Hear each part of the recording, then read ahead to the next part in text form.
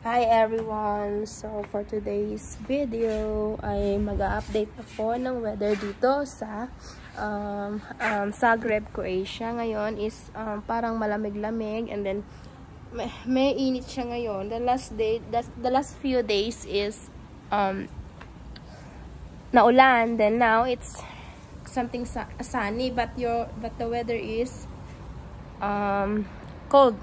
Cold, malamig. So, ito yung update ng weather dito sa Zagreb. Uh, malamig na mainit yung panahon. Pero yung weather is malamig. That's it. yeah, yeah, yeah.